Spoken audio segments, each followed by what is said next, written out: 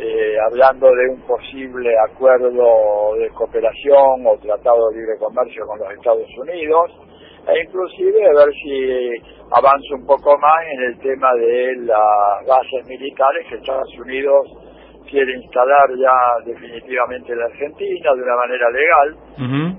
¿Verdad? En Ushuaia, en la frontera norte con Bolivia y en la triple frontera. A eso vino Pompeo, ¿no? No, no vino a ninguna otra cosa. Claro, y en un contexto, digamos, de 25 años del atentado a la AMIA, también vinculando un poco lo, el decreto declarando Hezbollah organización terrorista con la causa iraní y demás, ¿no?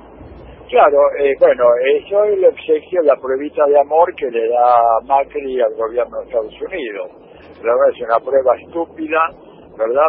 Por decirlo menos, porque la verdad que acusar a un gobierno en relaciones diplomáticas que uno de los partidos que tiene tres cargos ministeriales en ese gobierno y aparte una importante representación en el Parlamento del Líbano, es terrorista.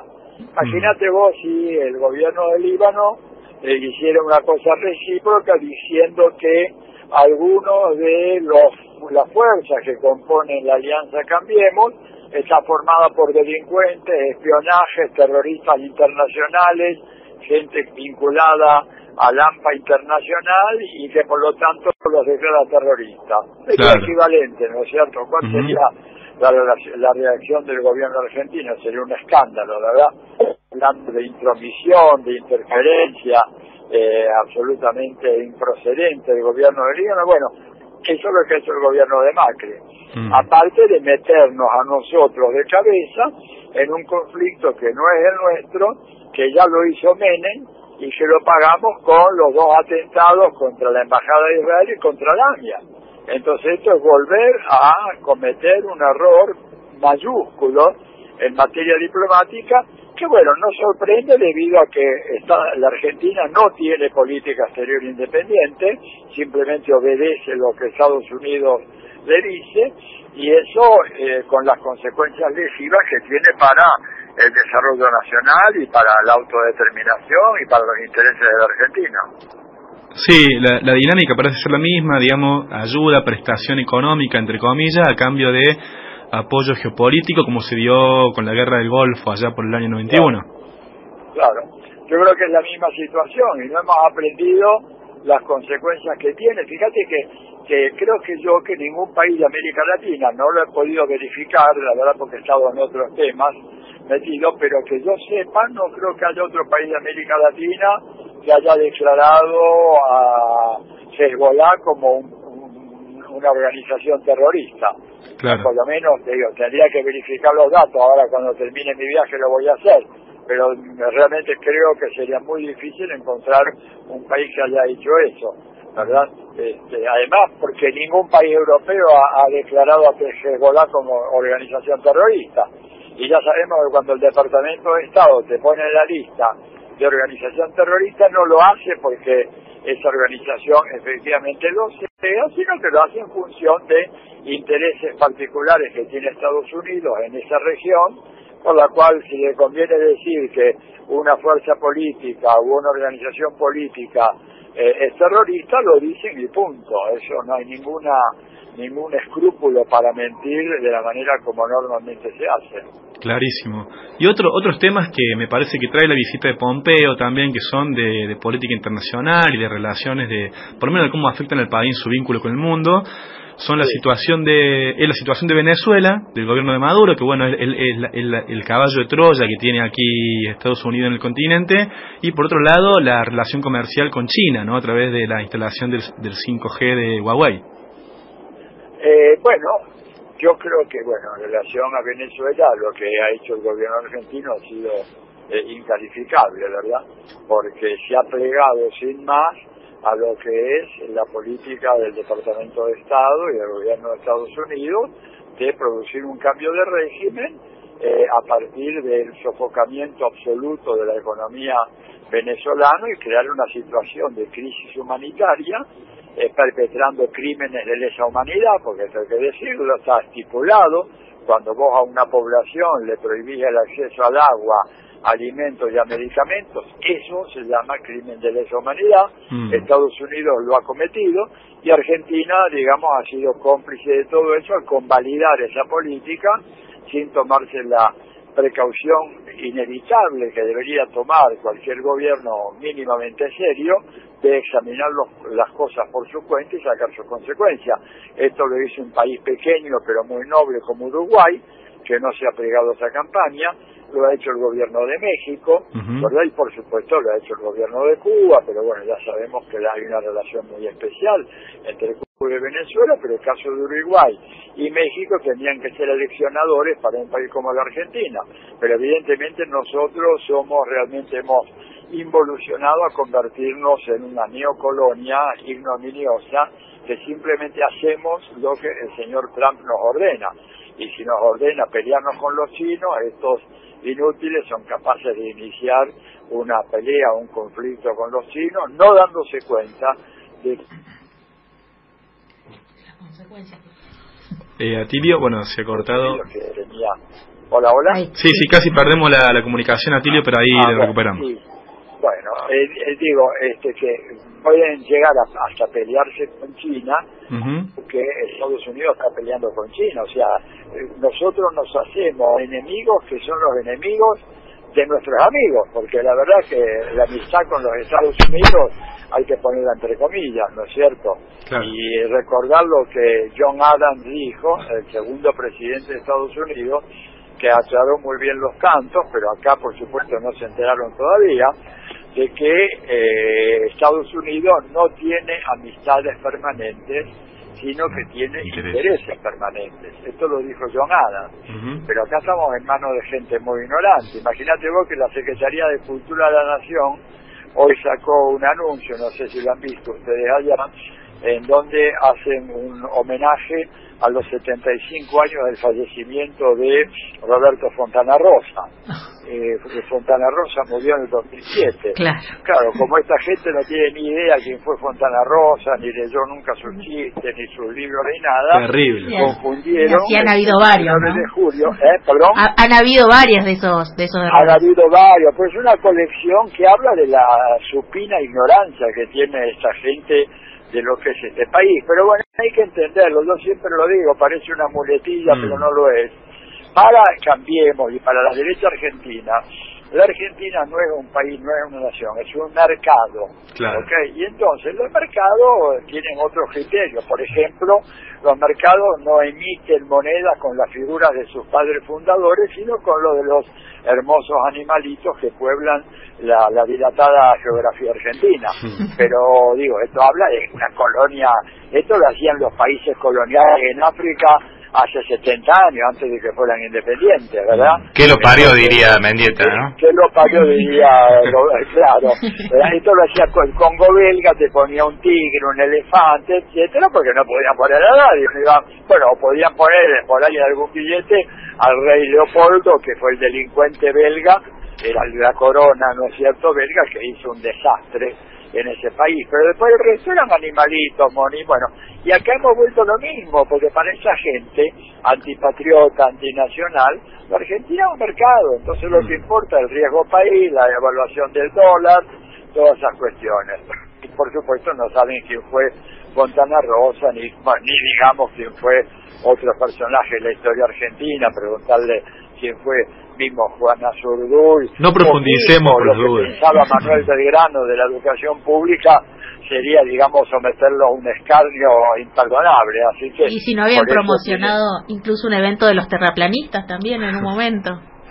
Sí, bueno, realmente eh, hay, hay momentos que prefiero reír. Yo voy a sacar alguna serie de notitas en los próximos días, ahora que me tomo unas pequeñas vacaciones en las redes sociales, en Instagram, en Facebook, en Twitter, sobre los horrores, digamos, este pero siempre en un tono humorístico de lo que ha hecho este gobierno, realmente es algo absolutamente impresentable que nos avergüenza Mm. ante la faz del mundo, pero ¿qué le vamos a hacer? Bueno, es lo que tenemos y lo único que espero es que en octubre la gente de este país se despierte de su letargo y bueno, y vote con la cabeza y no con los pies y cambiemos, cambiemos realmente, cambiemos de cambiemos, ¿no? Definitivamente. Atilio. Necesitamos cambiar a cambio, sí, dale. Las declaraciones de Carrio en torno a una eventual eh, participación de Rusia en el en el escenario electoral argentino, eh, ¿tiene que ver con, el, con un guiño deliberado hacia la presencia de Pompeo o es una locura más de Carrio? Es un poco una locura más de Carrió y es este parte también un guiño para Pompeo, pero mi amigo Iván Alexandrovich Voronovich ha dicho que eso es una estupidez gigantesca. No mm. sé si quedó claro. La voy a firmar con un seudónimo ruso para que se den cuenta lo ridículo que es todo esto. Acá el problema que tenemos nosotros, y lo ha denunciado un eminente ingeniero informático de Argentina, que es Ariel Gabars, es que nos hagan un fraude electrónico de, de, de lujo y que las elecciones terminan siendo robadas en, en, en el punteo informático, cosa que ya se hizo en México, ¿verdad?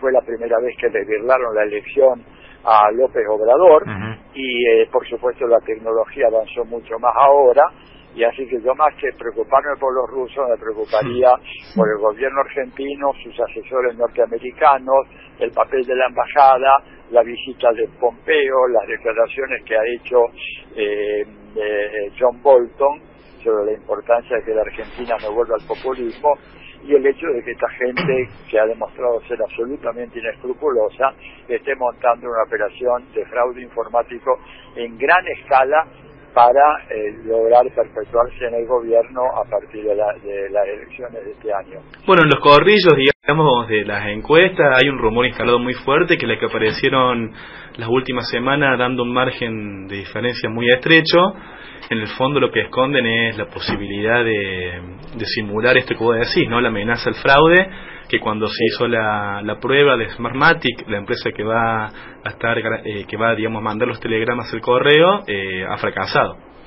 Sí, por eso, yo creo que es un poco lo que dice Gabars, y por eso sería importante que ustedes trataran de comunicarse con él y sacarlo a alguien para que Gabars se explique qué es lo que se puede hacer para contrarrestar esa maniobra. Eh, que yo creo que es muy importante y es muy posible que efectivamente lo hagan, este, porque ellos, imagínate que no están dispuestos a entregar el gobierno bajo ningún bajo ninguna condición, eh, eh, gane o pierde, ellos van a tratar de quedar, porque bueno, además este ante quienes los financiaron, los ayudaron, les abrieron las puertas, sería un papelón que después de cuatro años fueran expulsados del gobierno a través de una derrota inapelable en las urnas. O sea, que hay que estar preparado para lo peor. Clarísimo. Atilio, y vos que conoces mucho, porque te, te seguimos, te leemos eh, sobre Venezuela, quería hacerte esta reflexión, digamos, Venezuela que fue quizá el que dio el puntapié a los procesos de, de recuperación de soberanía y económica en la región, hoy termina siendo el estigma con el cual cargan todos los proyectos populares que intentan disputarle a los proyectos neoliberales Parece ser que un triunfo de Alberto con Cristina de Vice sería como ir hacia una venezualización de la política argentina. ¿Cómo, cómo analiza ese fenómeno? Bueno, mira, este, primero yo creo que el caso de Venezuela ha sido estigmatizado, como bien me parece que vos decís, ¿no es cierto? Es un país que evidentemente tiene muchos problemas, pero que no hay duda alguna de que el problema número uno de Venezuela y la causa fundamental de las dificultades económicas tremendas que tiene Venezuela es el bloqueo económico de Estados Unidos. Y para entender esto muy bien, permítanme hacer una breve analogía con el hecho de que, digamos, algunos de ustedes tengan un negocio, ¿no es cierto? Y enfrente del negocio se te para de repente una banda de ampones que no dejan que entre ningún cliente, que no te dejan salir, que no te dejan traer mercaderías, que no te deja salir a repartir mercadería, que cuando se te rompe un, eh, un elemento fundamental de tu negocio, suponete que tenés una fiambrería o una pizzería, no te dejan comprar el repuesto, que sancionan a los tipos que compran los productos que vos eh, comprás, que este, establecen multas brutales a, aquellos que transportan, no que compran, sino que transportan tus productos y entonces te preguntaría si ustedes creen que ese negocio puede prosperar y manejarse de una manera normal. La respuesta evidente, cualquier comerciante te diría no, con esa situación estoy fundido. Bueno, esto es lo que denuncia Venezuela. Ahora, que pese a todo eso, Venezuela haya sido capaz de distribuir 2.700.000 viviendas populares en los últimos ocho años contra las algo así como 100.000 que hizo el gobierno argentino, se demuestra de que cuando hablamos de la venezuelización de la Argentina, yo en política de vivienda sería algo recibido como una bendición por parte de los casi 4 millones de argentinos que no tienen hogar. ¿Me das cuenta? Entonces, este, hay que ir con cuidado. Y después, la otra cosa, Venezuela, que la acusan de dictadura, es un país en donde, según el señor James Carter, ¿verdad?, que tiene una fundación llamada por su nombre y que se dedica a monitorear procesos electorales, dijo una y otra vez que el sistema electoral venezolano es más confiable y transparente que el de los Estados Unidos. Mm. Por supuesto, a, los grupos eh, gobernantes y a todos estos pseudo periodistas, que no son periodistas, ustedes lo son, mm. Pero los grandes medios son perioperadores, ¿verdad? Son operadores propagandísticos, gente que no hace periodismo, mucho menos periodismo político cultural. Tal vez la parte periodística de los grandes medios se encuentre, y eso hasta media, en la parte deportiva, y nada más. Después en todo el resto son puras operaciones políticas. Y en la parte deportiva está ahí nomás, ¿eh? O sea, en la parte está ahí nomás, bueno, te digo, ya no son periodistas. los grandes medios se han convertido en corporaciones que promueve una agenda económica propia o una agenda económica de los grupos dominantes con los cuales están aliados, y entonces ellos pueden decir cualquier cosa sobre Venezuela, sobre Nicaragua, sobre Cuba, y por supuesto también cualquier cosa sobre Argentina, o no decir, por ejemplo, hacer desaparecer por completo ante los ojos de la opinión pública la presencia de varios miembros del gobierno, empezando con el presidente Mauricio Macri en los Panama Papers, que es un escándalo que debería haber originado la renuncia del presidente, como originó la renuncia de dos jefes de Estado europeos que estuvieron involucrados en eso. Pero ese tema acá no se habla. ¿Te das cuenta? Es un tema que está blindado. O sea, es una prensa que blinda o que miente pero que no cumple ninguna de las funciones esenciales que debe cumplir realmente el periodismo. Clarísimo. Atilio, eh, sabemos que venís seguido a la Feria del Libro, sos un gran visitante y un gran conferencista de la Feria del Libro en Córdoba. ¿Te esperamos este año o no? Sí, voy a ir, voy a ir. Tengo que fijar finalmente la fecha porque tengo una agenda tremenda porque, bueno, publico este libro dedicado, más, no dedicado, un estudio sobre el pensamiento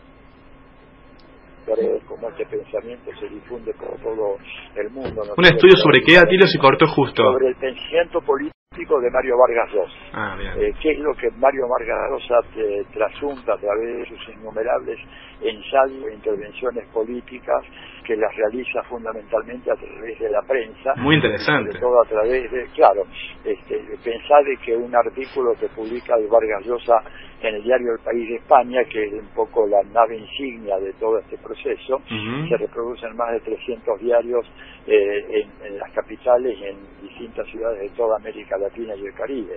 Y aparte se reproduce en Estados Unidos, en Inglaterra y en buena parte de Europa, eh, del cual se desprende ese sentido común liberal que después, cuando llega acá abajo, aparece en boca de Carrió o en boca de alguno de, no sé, de Fernando Iglesias o de la gente así que plantea estas tesis mamarrachescas sobre la dictadura de Maduro, sobre la violación de los derechos humanos en Venezuela, digamos un país que eh, cuyos derechos humanos han sido violados por un bloqueo salvaje como el que ha sido implantado sobre ellos en los últimos cuatro años. Yo quisiera saber qué pasaría en la Argentina si a nosotros nos aplicara la misma política a Estados Unidos que le ha aplicado a Venezuela. Creo que acá en la Argentina estaríamos ya en una guerra civil salvaje al estilo de la que hubo en los Balcanes, ¿verdad? Y en Venezuela, a pesar de todo eso, reina una, una calma y un orden que es realmente increíble y que lo demuestran eh, en las redes sociales auténticos periodistas,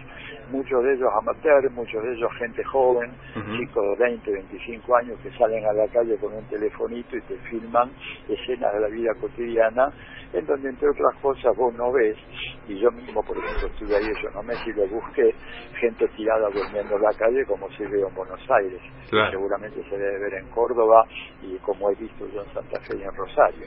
Pero bueno, esas son noticias son sistemáticamente ocultadas por la prensa hegemónica cuya misión no es informar, sino como decía eh, Noam Chomsky, son medios de desinformación o de confusión de masas. Y esto es premeditado.